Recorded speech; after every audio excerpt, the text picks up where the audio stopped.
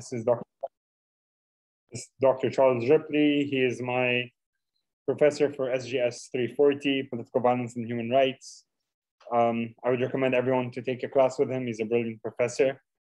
Um, Dr. Ripley um, has a PhD in international relations and comparative politics with an emphasis in statistical analysis, US foreign policy, international political economy, and Latin American politics. Um, he, has, he has published a broad range of peer-reviewed articles on global themes such as the impact of privatization in Nicaragua, the role of monetary unions in South America, and Colombia's internal security. I believe he will be talking to us about Nicaragua and Colombia tonight. Right. And you read that off your phone beautifully. Yes, thank you. Uh, uh, and uh, I'm not a brilliant professor. You shouldn't take my class. You'll be very disappointed. Uh, so thanks for having me. I'm unable to see the people I'm speaking to. Is there any way you can change the thing around? Oh, you just put it around. All right. How many I, people are I, here? yeah, there's no other way. I don't know. I guess in my classes, I have a different situation where I can actually show the uh, thing. So, anyways, but it's not that important. How many people are we speaking to tonight, Mohammed? So I get an idea. Six. Six people came out. All right. See, see how great and brilliant I am. But I do appreciate you people coming out, and I do appreciate the United Nations. I actually spoke. Um, to the uh, the high school. I don't know what you would call it, uh, mock United Nations uh, a while back before the COVID, when there was another leader of the United Nations. I don't know if after the, or during the COVID, if it kind of dropped in numbers or what's going on. But I do appreciate your kind of energy for the United Nations. And I'm going to begin and then I'll take questions. It won't be too long. Is that I actually had the unique opportunity to do um, contract work for the United Nations, uh, on the ground stuff, a little technical. And then I taught English to people working for the United Nations where I lived for eight years. I lived in Nicaragua.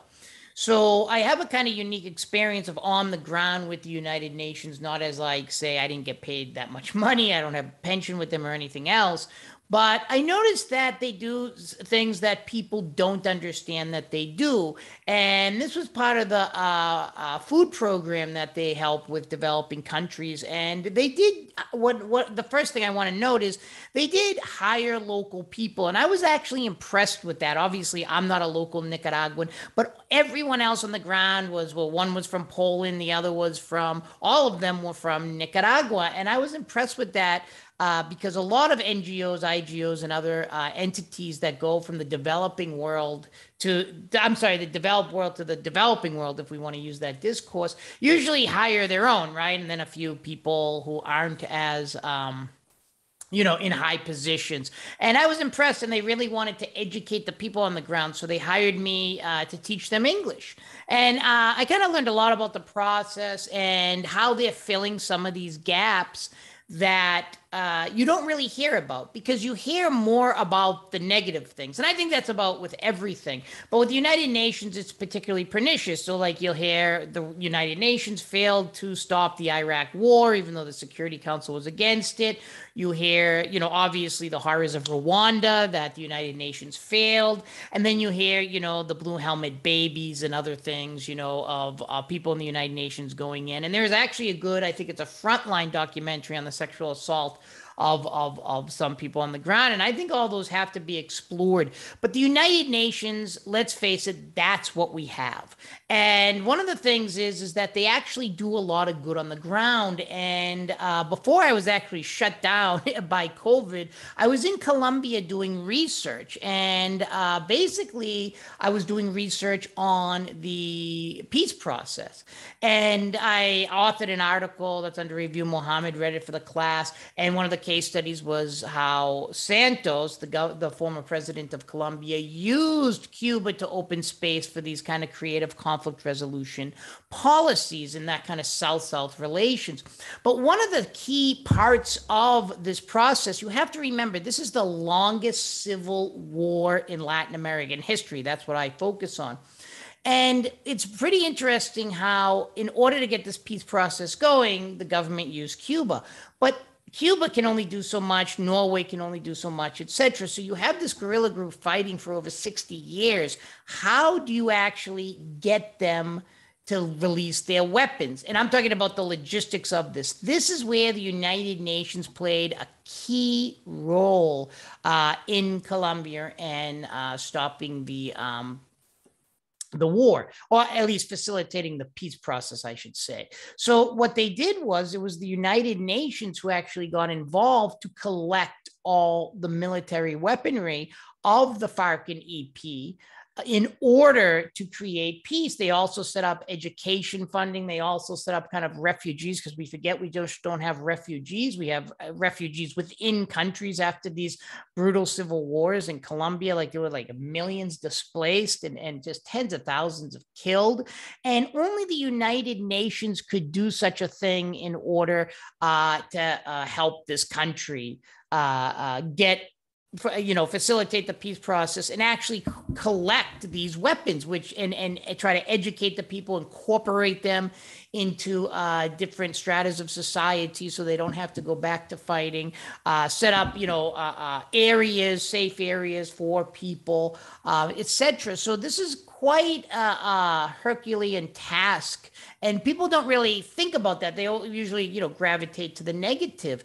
And with this peace process, the FARC became a political party. The FARC EP is the guerrilla group that was fighting for like 60 years. And behind me, that's not my house. That's actually a picture of the former FARC uh, uh, leader in the FARC headquarters. I went to the headquarters uh, to do research, to do interviews, and things like that. I took this picture, and I'll have others uh, behind me. And, you know, he's not a very popular figure with a lot of Colombians, but still, he is an important figure. Uh, he was killed, and, and he, you know, became, you know, a martyr. One of the best things about getting killed, uh, you know, if I go, I'd like to be killed, then you become a martyr, right? So that'd be not, not a bad way to go, right? Um, and you know, he became kind of like the the the now the de facto head of the party.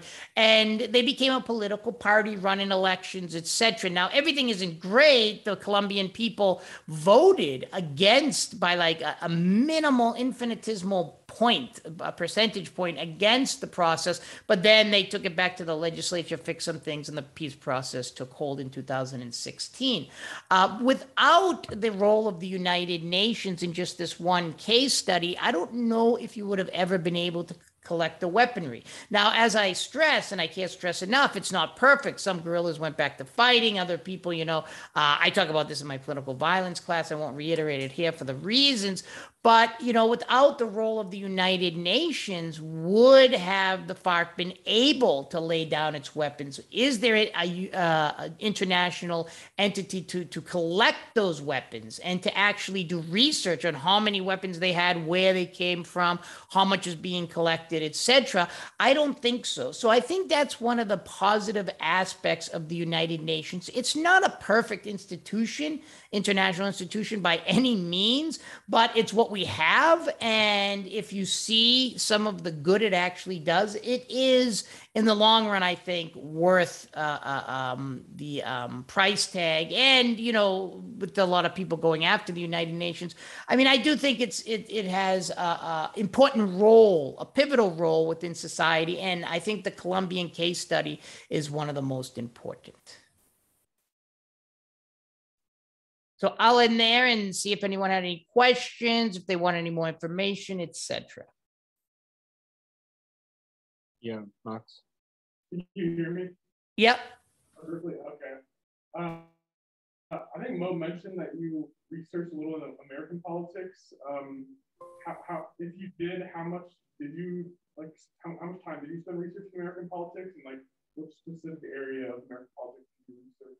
Are you asking me what my area of research is in international politics of Latin America? Yeah, and more specifically America too. If you did any research there. Yeah, I lived. I actually lived in Nicaragua eight years. Uh, the United Nations is having a tough time in Nicaragua because Ortega, uh, you know, is has gone a little crazy and keeps on running and running. Uh, this is one of the problems the United Nations has is that you know it's basically to what extent you know, do you step on a country's sovereignty and say, look at you're not a legitimate leader? And to what extent does it have to recognize under these conditions? And we actually got in a good debate, Mohammed will tell you about that today, about the role of the United Nations in Afghanistan. Should it or shouldn't it um, recognize the Taliban. But towards my research, I lived there for eight years. I was a professor at the University of Centro Americana, and then uh, I learned a lot. And the United Nations, one of the also the other things is this is in Colombia, this is Nicaragua. The people have a bigger respect for the United Nations. Uh, I, I, you know, living in a country for eight years, you get to really understand the people, and they they do have a certain respect for the United Nations that I think other entities don't have, particularly in Latin America, the United States, the organization of, of, of um, the OAS, the Organization of American States, that the a lot of people think is just dominated by the United States. You go to Eastern Europe, obviously they're a little dominated by Russia, and you know the United Nations really they have a tendency to listen to them. One of the things I do in one of my classes, which is based on my research and the international law class, it's online if if anyone is in it is that you know during the cases the international court cases of um, Bolivia versus Chile because Chile stole. I mean, we all stole steal land. People forget, you know, they'll say Latin America, but Latin America has huge conflict. Is that Bolivia has taken Chile to the International Court of Justice a number of times. One of the interesting things about the case, which I think is quite different than in other cases, is that Chile and uh, Bolivia and Peru is involved as well, all listen to these cases. Uh, you know, the United Nations is kind of elevated. If there's a case with the United States and the United Nations, probably no one is going to know about it. But people in these developing countries do know about it. Uh, and I had the chance to teach next to the near the uh, people who studied derecho law in Nicaragua, and they took the United States. People forget to the International Court of Justice, the United Nations in 1984 and, and, and won the court case uh, that the United States was interfering in their politics through what we call the Contra War, which was a war uh, against um, the Sandinistas, who the United States didn't like, Ronald Reagan in particular. So um, it's pretty interesting that uh, this is this case is always being talked about in Nicaragua, and it's it's very very important. And, and that's my research. It isn't just on the United Nations or Latin America, but it, it basically really does demonstrate the role the United Nations, the International Court of Justice, and other um, other uh, uh, entities have with the developing world that we don't understand sometimes because if you're from the United States, you're very powerful, so you don't have to listen to the United Nations. But one case was our, uh, Ghana took an Argentine vessel to its ports and kept it there because Argentina owed money to these vulture funds. Uh, and Argentina took them to the, you know, a part of the United Nations, the law of the sea, uh, and took them to this other court, the court uh, in Hamburg, Germany. My German's a little off. And basically, Argentina won and opposed to Ghana saying, we're not going to listen to the court. It actually released the Argentine vessel and said, well, the United Nations, that is the law of the sea, the court system said it was illegal for us to have this ship, so we have to let it go.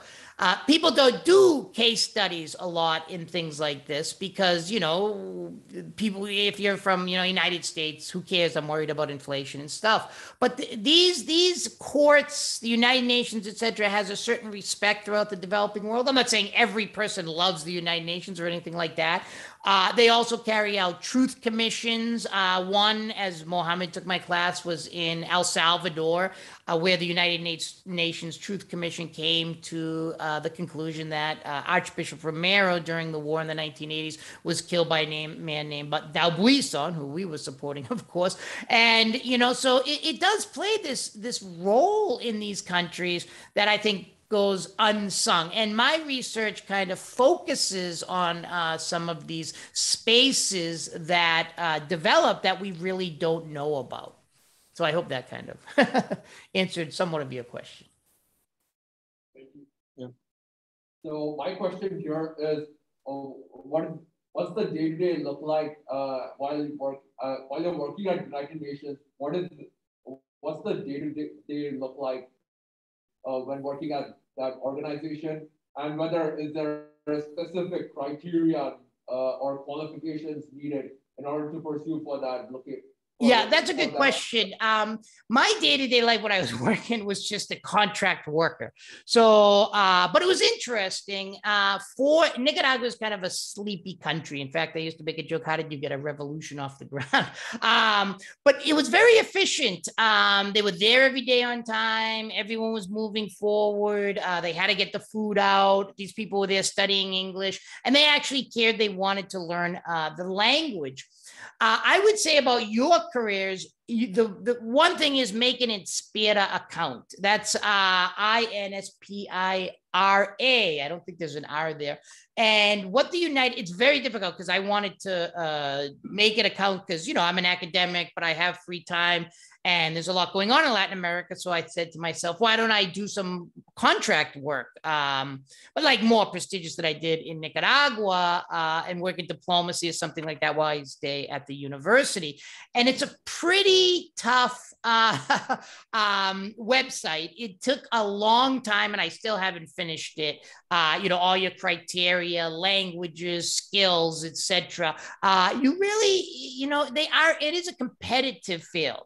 Uh, they also have a website. I can send it to Mohammed to send to you people. Um, yeah, you should have a Canvas shell maybe, and then you can share stuff on that. And what uh, the they have these internships, and I used to do it in my professional development class when I taught the SGS professional development class.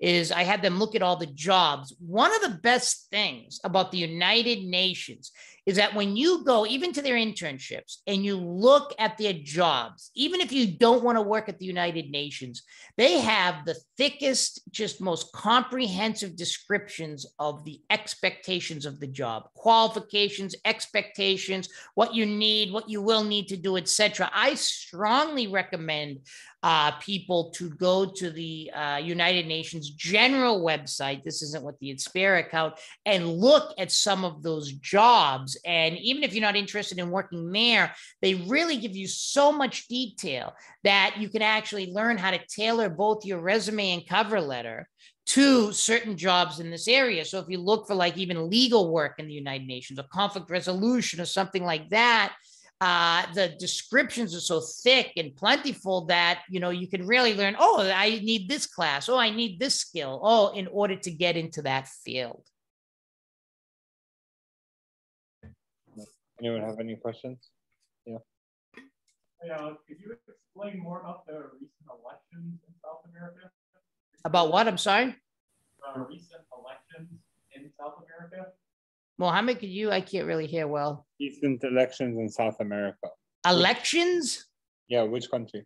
I think it was uh,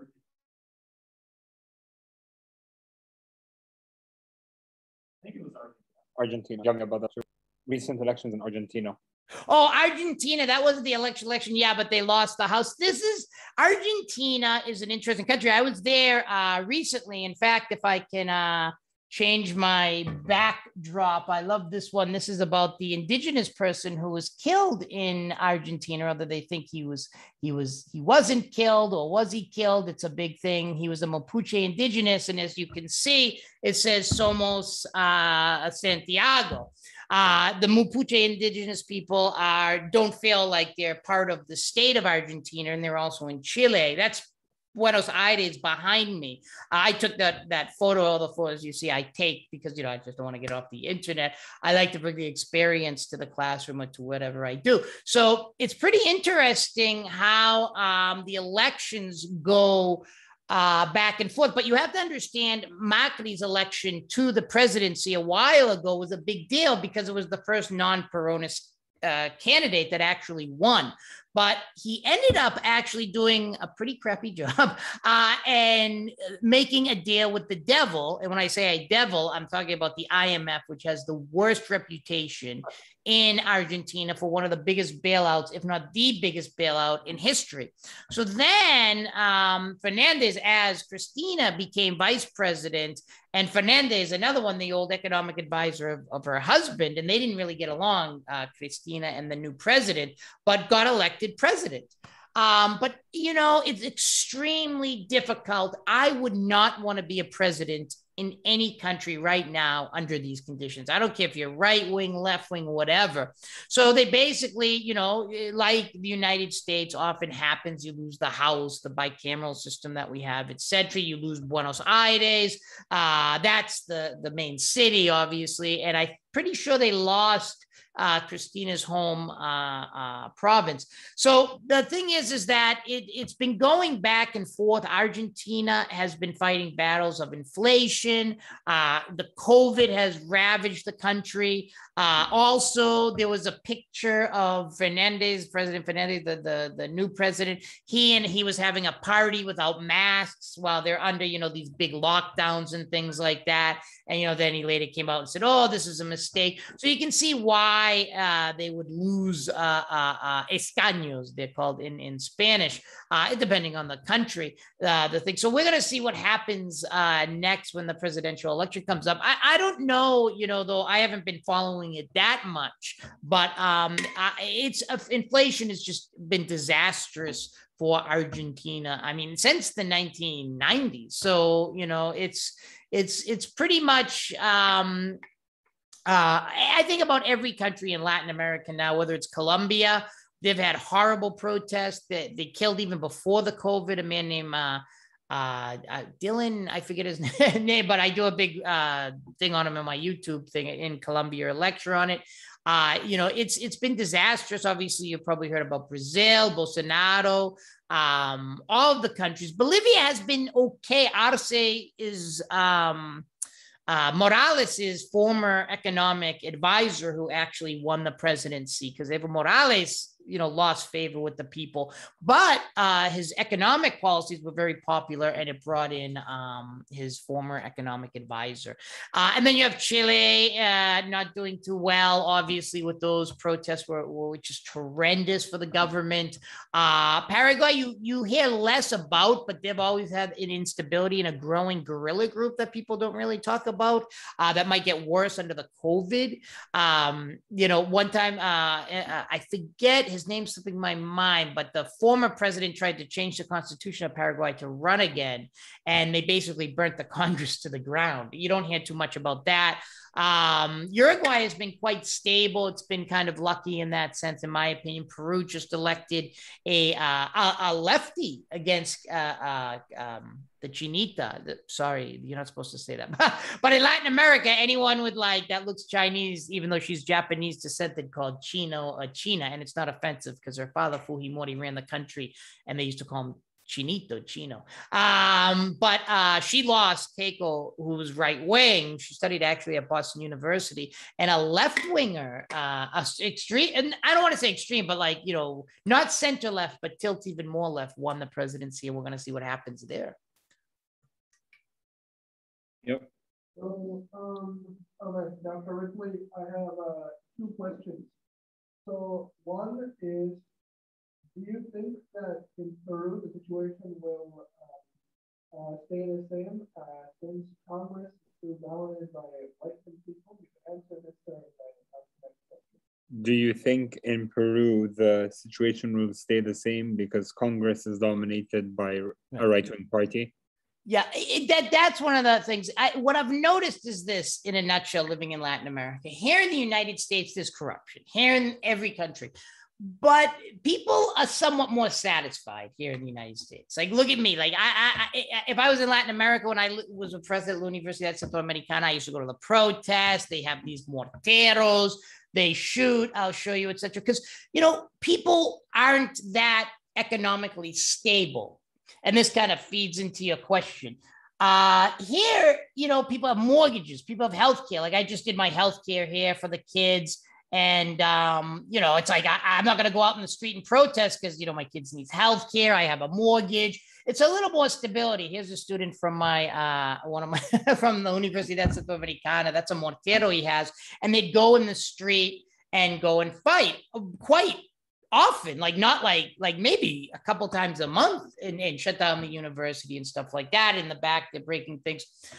Um, Latin American politics, and I'm sure Africa and others, is very unstable, and they're always just trying trying to put everyone in prison. Um, you know, I would not want to be president of Peru. And you're right. It's like look at every single solitary Peruvian leader has been, you know, either, you know, later um, accused of something. They can't finish their term. You know, you don't even, you begin not even to know their names, right? Garcia, Alan Garcia, very tall, big guy, you know, finally took his own life because he was going to go to prison. He was president twice.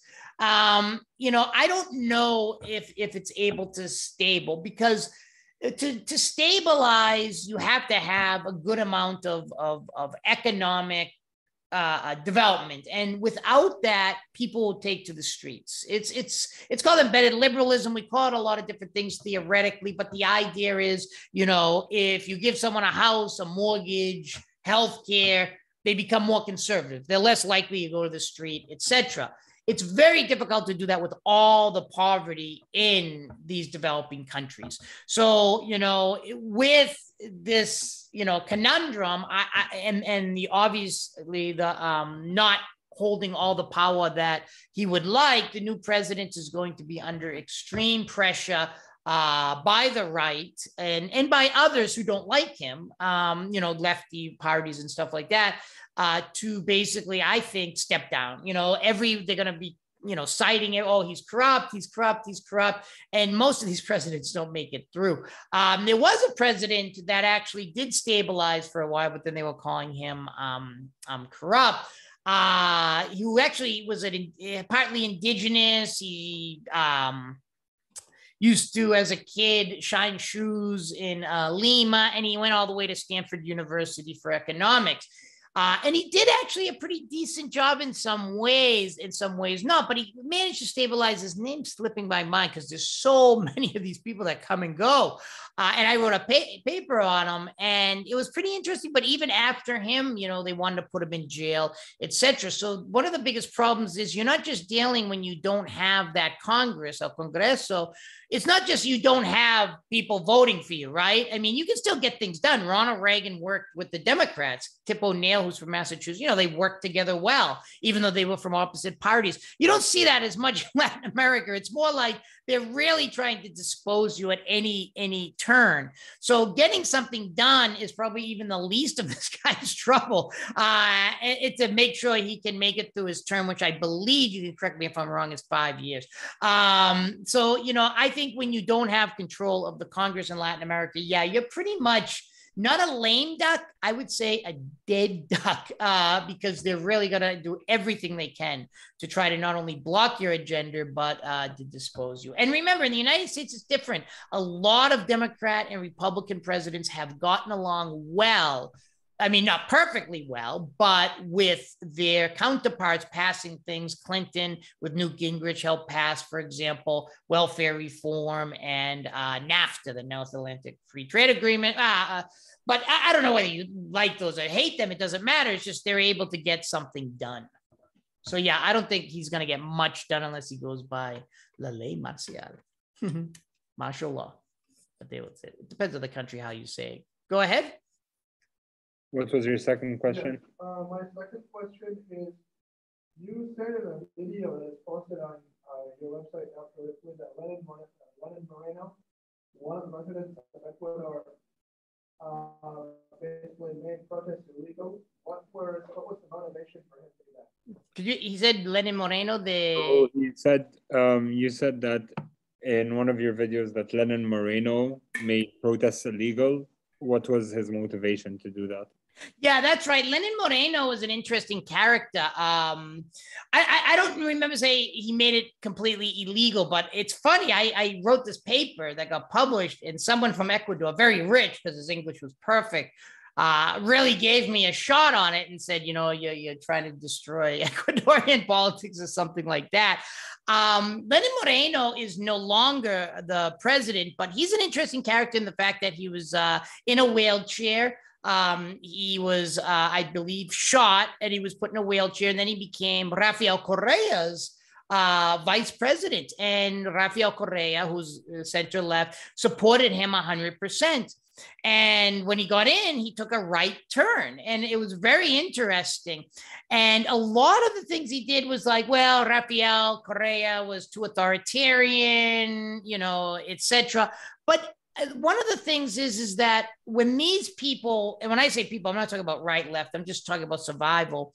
Um, get into office. Sometimes they try to curb protests because they think it's going to get out of control. And he was right. Uh, he, he was at literally had to be moved during the anti-IMF protests from uh, the capital, which I've been a million times, uh, uh, Quito, to Guayaquil, which is a um, a um, a port town that was the largest city I've never been to, but the largest city in Ecuador uh, for fear of his life. So when he was trying to curb those protests, yes, he was he was basically saying you can't go out. They were trying to curb them through these legal mess, uh, these legal avenues because it was true. I mean, they were getting so out of control, but he had no other choice. So he he went to Guayaquil, and then uh, he eliminated some of the most um, pernicious laws that the IMF wanted to enact, and one of those was the subsidies of gas.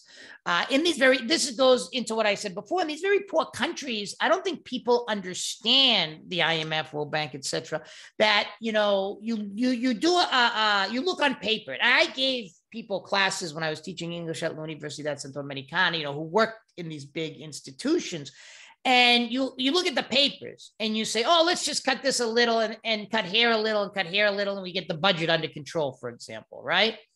It doesn't look like that much on paper, and most are coming from the upper class who work on these projects. So they don't understand what it's like to not have these subsidies, which will put you in massive poverty. So the sub cutting the subsidies of gas was a titanic mistake because one, you know, even if it, if if it's just like say five dollars a month, someone might say, "What's five dollars a month?" To a person making two hundred dollars a month, five hundred dollars five dollars a month is a lot. And remember, they use the dollar.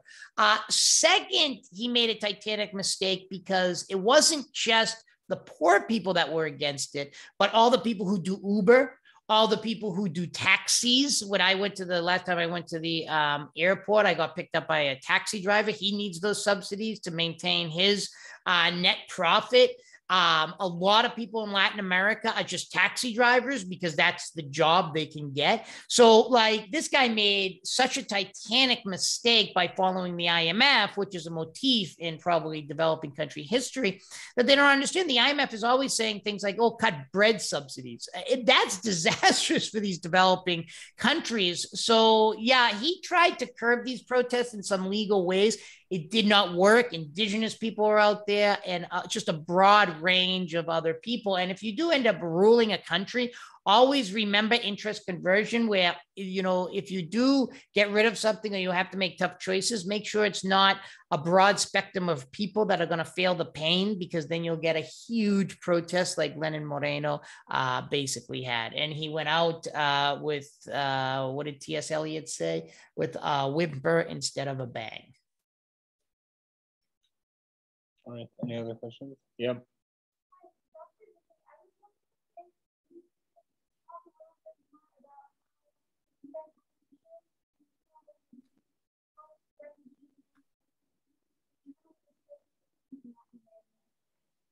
So could you talk about how the UN High Commission of on Refugees, um, what was it? Sorry.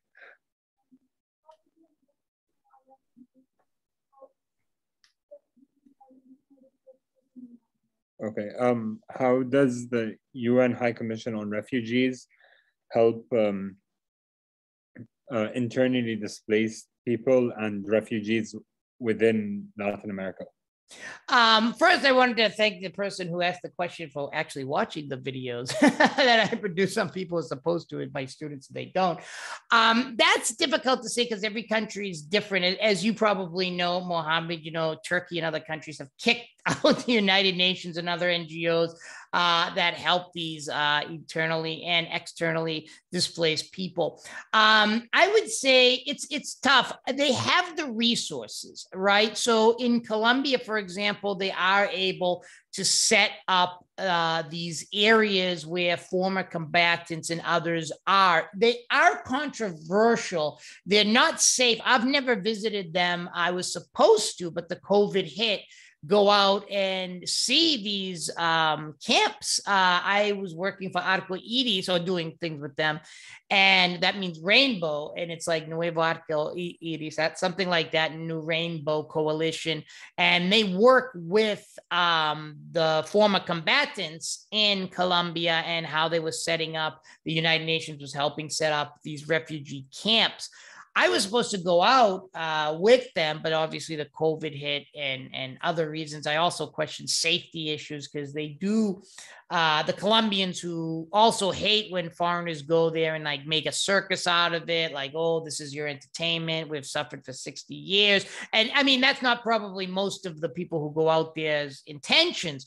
Um, but I didn't end up going out personally to see, so I don't want to give a um, 100% a um, uh, uh, too much on that. But uh, they're the only game in town, basically, to help set up these camps. They try to set up education camps. Because one of the things, if you see another video of mine, um, they try to this isn't the United Nations, but just a broad spectrum of, of, of international organizations, governmental and non-governmental organization. I purposely put here in my uh, virtual background um, something, uh, if I can find it, do, uh, where they basically are trying to sell FARC products and to incorporate people into um, the um, the system and I'm not seeing it, but it, I have a video on that, and it's like they do all these different kind of cool things uh, to help um, the FARC. Let me see if I can get it here. Let me add an image.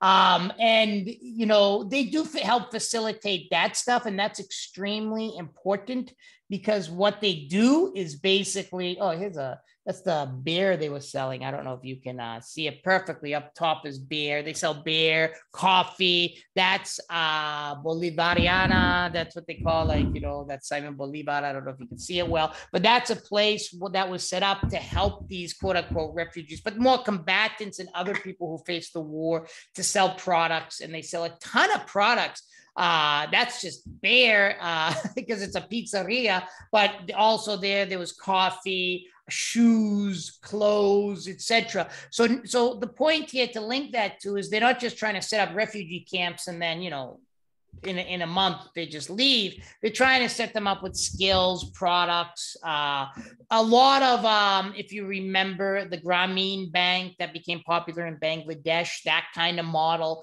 where they try to set up this these you know former combatants and other people to be entrepreneurs and help out. It's it's it's a, like i said it's a herculean task. It's like a titanic task to do. But um that I went to, and that was like it's like just a hodgepodge of all the products the FARC and other people are making to try to get them off the ground. And the beer was pretty good, so I can't really complain. And the pizza was as well, and the coffee, very strong combatant coffee. Anything else on all this? Okay. Thank you, Dr. Ripley. I appreciate your time. Yeah, thanks so much. And to anyone, if you ever have a question about anything that I do or you're interested in, uh, just uh, send me an email whenever you want. And you can get in contact with me through Mohammed. Thanks a lot for having me, Mohammed. I'm glad that the United Nations, uh, this group is back and doing something after the. COVID. Thank you. Thank you. Take care, everyone.